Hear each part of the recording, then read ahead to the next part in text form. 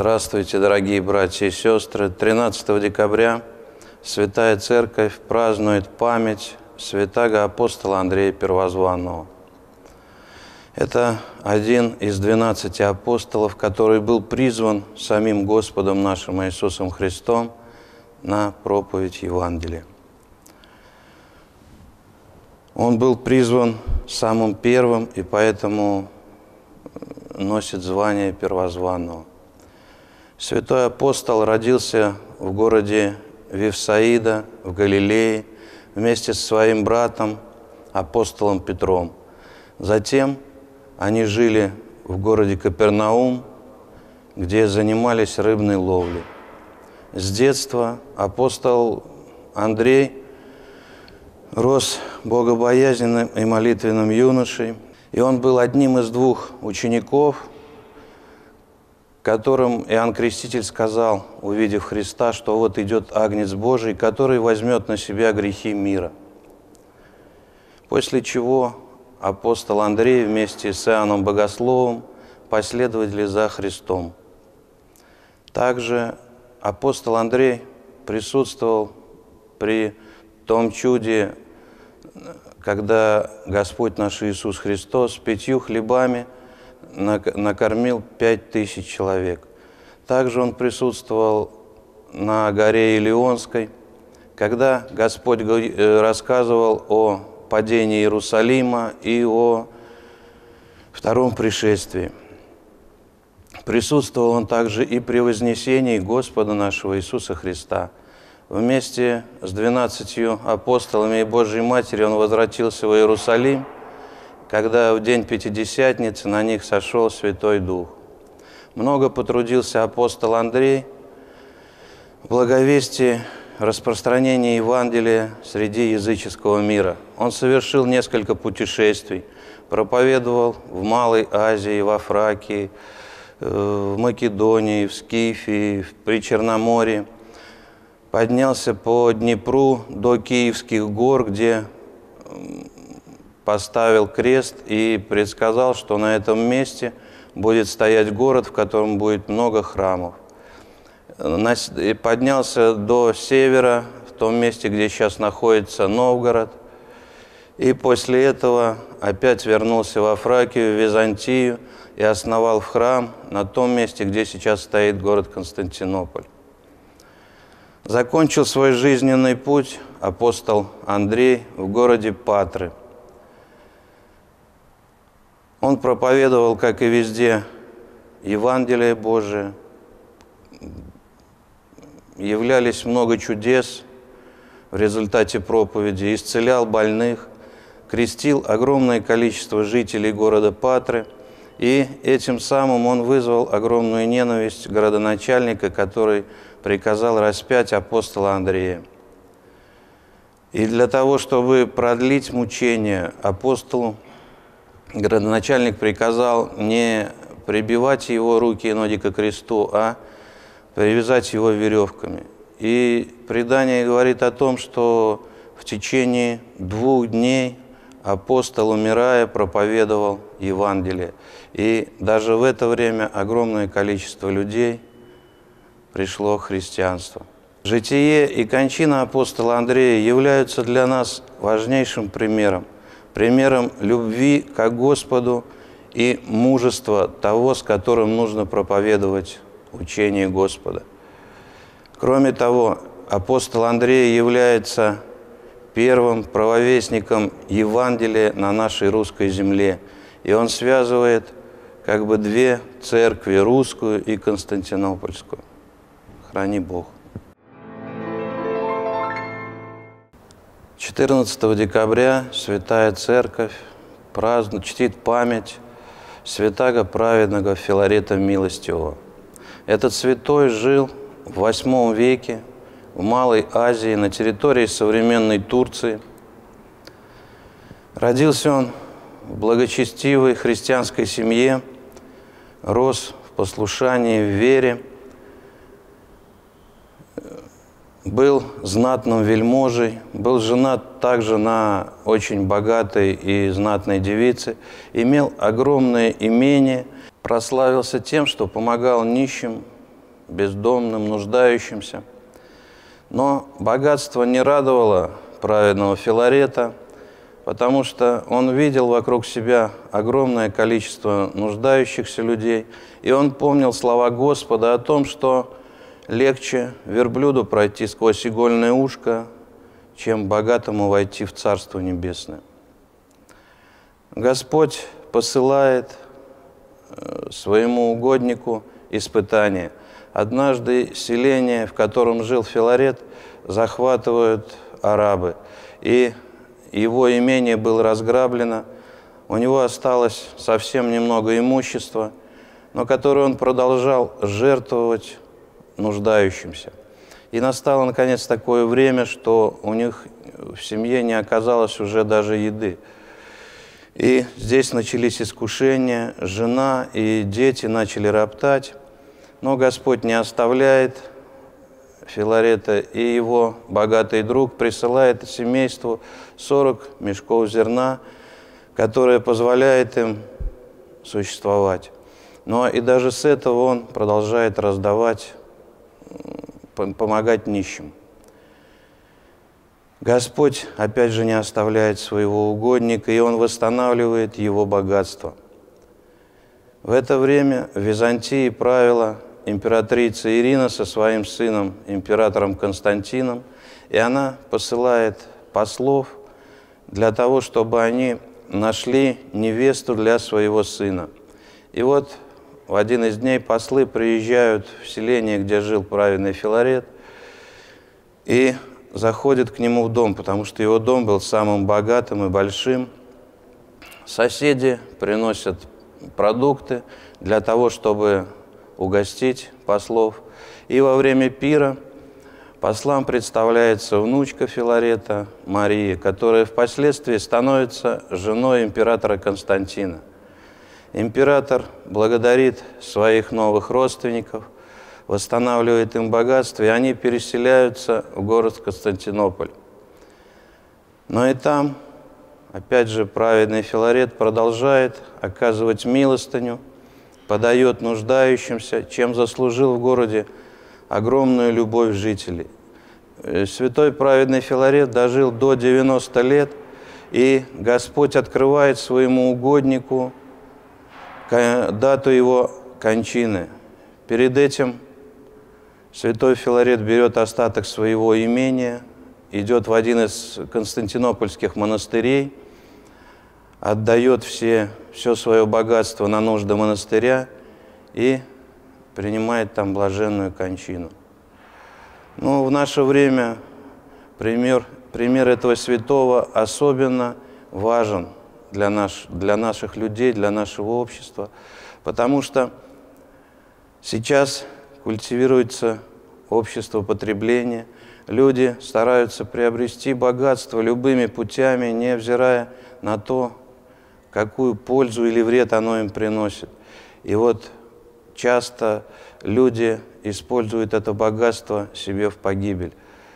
Пример же праведного Филарета Милостивого как раз нам показывает о том, как богатство можно использовать как дорогу в Царство Небесное. Храни Бог.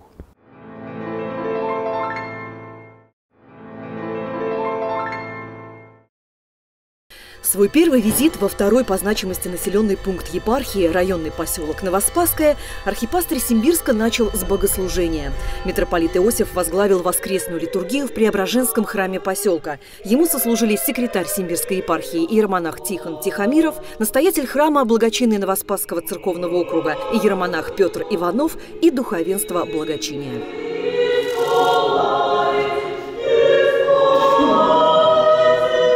Преображенский храм в Новоспасском относительно молодой. Его возвели в 2005 году по просьбам всех местных жителей. Сейчас это не просто дом молитвы, это сердце поселка, духовно-образовательный центр, вокруг которого сосредоточена вся культурная и социальная жизнь района. Представители местной администрации, присутствующие на литургии, подтвердили, переоценить в жизни сельчан значение храма, соборной молитвы и всей деятельности на приходе невозможно.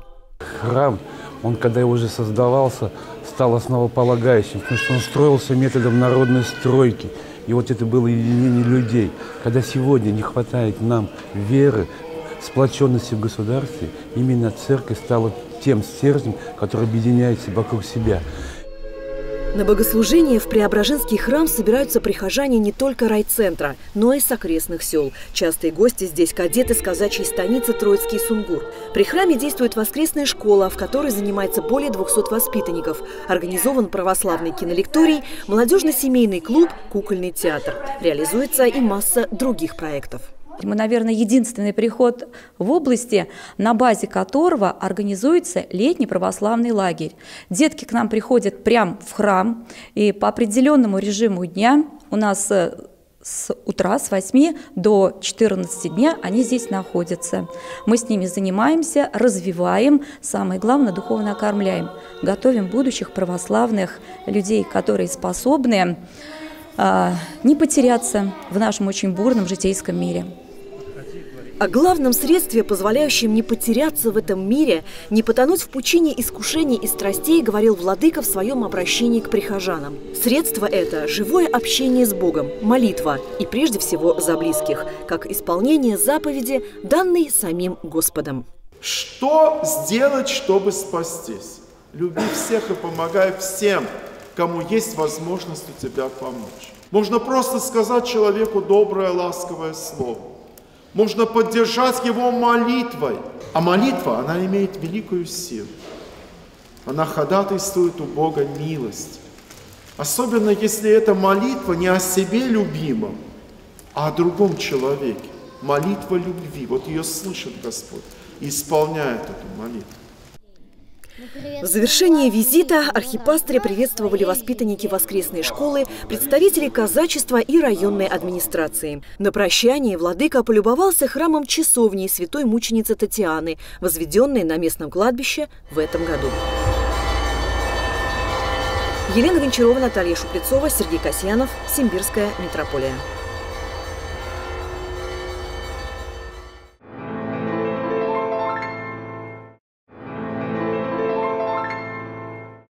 Добрый день, дорогие друзья! Мы продолжаем встречаться с вами и рассуждать о тех вопросах, которые вы нам прислали. Вот есть такой вопрос. В Библии есть притча о талантах, в которой описывается, как человек должен стараться приумножить талант, данный ему Богом. А если он этого не сделает, то будет наказан – что значит слово «талант» в православии? И как быть тем людям, которые не знают, есть ли у них какой-то талант или не могут обнаружить его в себе и, следовательно, развить и приумножить? Неужели они заранее обречены на наказание? Действительно, в православной церкви сохраняется – и осмысливается притча о талантах, которые, о которой рассказывает Спаситель в Евангелии. Разным людям при начале деятельности Господин дал разное количество талантов. Одному человеку дал один талант, другому человеку пять талантов, третьему человеку десять талантов – и когда господин вновь пришел к своим слугам и спросил у них отчета о расходовании и употреблении этих талантов, то тот, кто получил пять талантов, сказал, что он свои таланты приумножил, вложил в дело и заработал на них еще пять талантов.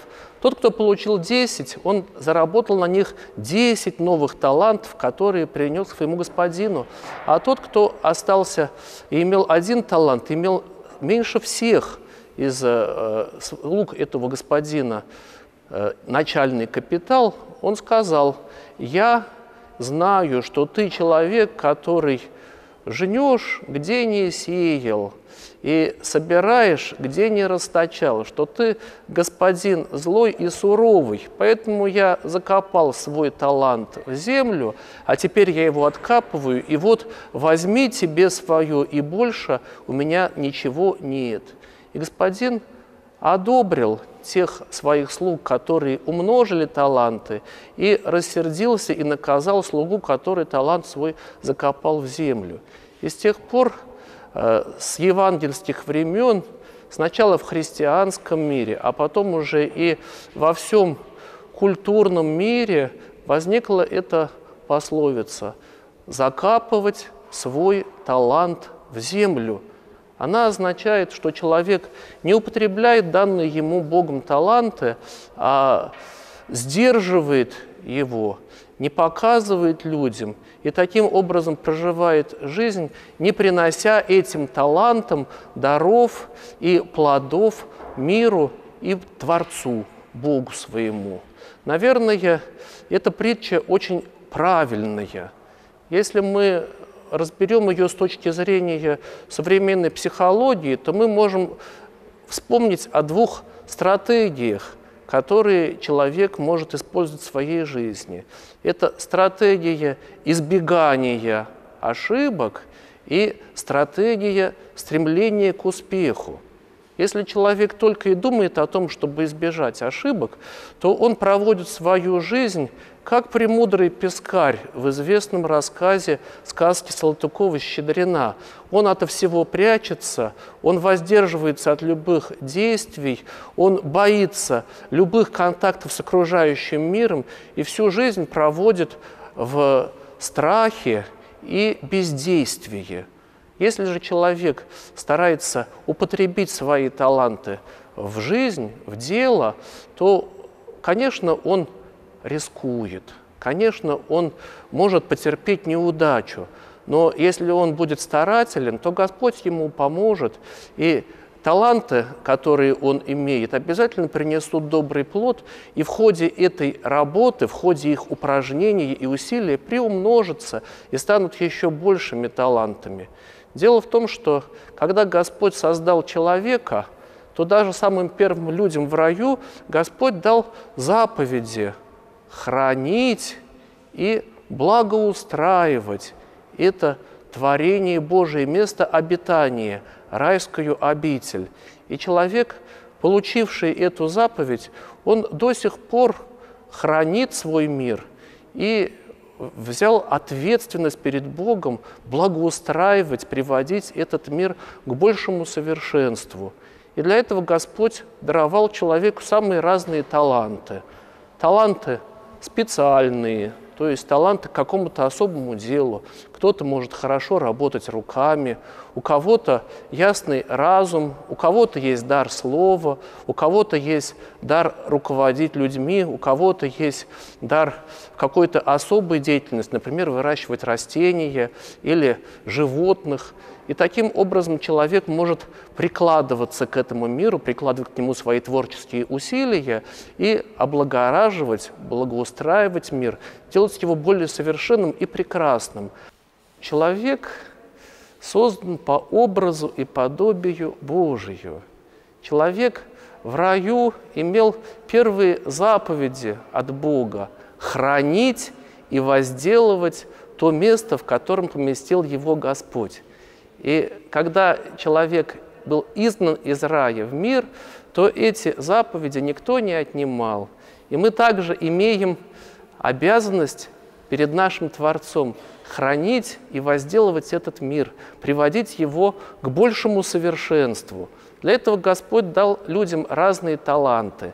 Есть таланты к специальной деятельности, например, таланты к ручному труду, или таланты к техническому творчеству, таланты к умственной работе, таланты к языкам, таланты к общению, таланты к руководству и управлению людьми. И тогда человек в своей специальной области достигает наибольших успехов. А есть таланты самые общие, которым Господь наделил человека независимо от того, в какой области человек действует. Например, Господь у нас свободен. И человек также имеет дар свободы, дар отличать добро от зла и выбирать лучшее от худшего. Господь у нас всеведущ, и человек тоже имеет дар разума, дар способности понять что-либо в этом мире. Господь – Творец, и человек тоже имеет дар творчества, дар деятельности, возможность что-то совершить в этом мире своей активностью. Человек имеет дар сочувствия, сострадания, благочестия, любви, веры, миролюбия, смирения, терпения. Я не верю, когда кто-то из наших прихожан говорит, что он не имеет никаких даров от Бога. Наоборот, я думаю, что я не видел ни одного человека, который хоть какого-то доброго дара, доброй способности от Бога в себе не имел. И, конечно же, человек может этим даром послужить Господу. Кто-то говорит, ну я не имею ни денег, ни сил, я такой больной и слабый, я не имею возможности как-то послужить Богу и ближним своими руками, своим имуществом и своими какими-то плодами своего труда. Но ведь любой человек может сказать другому доброе слово. Любой человек может прибавить добрую улыбку к тому миру и к той ситуации, в которой он находится, сколь бы тяжела, трудна и неудобна она не была. Каждый человек может согласиться с Богом и прославить Его мир, сказать Ему свое «быть». А также он имеет и обратную возможность, он имеет возможность отвергнуть мир Божий, он имеет возможность возненавидеть творчество Божие, возненавидеть его мир, сказать миру не быть. И таким образом человек имеет возможность прибавить к Божьему миру что-то доброе или что-то доброе от него отнять. Таким образом мы стараемся исполнить эту притчу о талантах. Мы стараемся приумножить добро и совершенство в мире и стараемся тем самым и усовершенствовать свою собственную душу, умножить свои собственные таланты и приготовить и себя, и мир к тому прекрасному, светлому, гармоничному будущему, которое промыслил для него Господь. Нам на почту поступил вопрос, на который мы хотели сегодня ответить. Мой ребенок родился больным. Я виню себя, и мне кажется, что это наказание Божие за мои грехи. Все время плачу. Так ли это? И что мне делать? Вопрос нелегкий. Особенно, когда мы касаемся жизни и судьбы отдельного человека, который уже не так просто поменять и что-то кардинально здесь изменить, но можно поменять самое главное – отношение к ситуации. Когда болеет человек, христианин – и православный человек смотрит это как на событие, не обязательно данное для наказания человеку, но бывает данное для того, чтобы человек, шедший путем вот этого крестного страдания земного, а мы все с вами носим крест на груди, маленький крестик на нашей груди символизирует, что мы берем крест Христов и, берем, и идем вслед за Ним, несем скорби, несем трудности жизненные – и да, это скорбно, когда болеют маленькие дети, и часто вопросы задаются к Богу, почему бывает именно так. Но если мы вспомним о том, что сам Христос был невинным, Богом, человеком, который страдал за нас, то нам легче будет преодолевать трудности, сложности, связанные с нашими близкими, даже таким э, событием, как рождение больного ребенка. Да, ваш ребенок болен телесно, но у вас есть шанс сделать его духовно богатым, духовно здоровым, чтобы он правильно воспринял эту действительность, э, которую дал ему Господь. Не в наказание, не в искупление и не в очищение, а для того, чтобы, может быть, он своим последующим добрым словом, поддержкой, будучи больным, и таких же будет поддерживать. Все зависит от нас самих, как мы будем относиться к ситуации, как мы взглянем по-новому, с обновленным взглядом, обновление мы просим у Бога, чтобы Господь наше сердце обновил. И через это наше обновленное сердце мы увидели, что человек не просто страдает для пустоты какой-то и в пустоту, а он страдает ради того, чтобы другим явить образ терпения. Может быть, где-то он сам будет преодолевать эти трудности, связанные с болезнью. И вы будете, если правильно относиться к этой ситуации, трудности преодолевать то вы станете примером. Поэтому христианин всякую ситуацию, всякое э, событие в его жизни, он будет направлять ко благу. Как мы знаем из богословия, что Бог наш есть Бог благой, и всякое зло Он направляет благим последствиям. Вот и рождение чада с какими-то нарушениями, с отклонениями, оно тоже может послужить сильнейшей, к вязчей славе Божией. Вы можете преобразить эту ситуацию. Поэтому, конечно, я желаю вам утешения Божию, чтобы Господь на вас послал свою милость, не оставил вас, укрепил, облегчил эту болезнь, если это возможно. А если невозможно, то даровал вам и вашему ребенку силы эту болезнь преодолевать, бороться с ней, а может быть и принять ее, чтобы переосмыслить и другим пользу принести.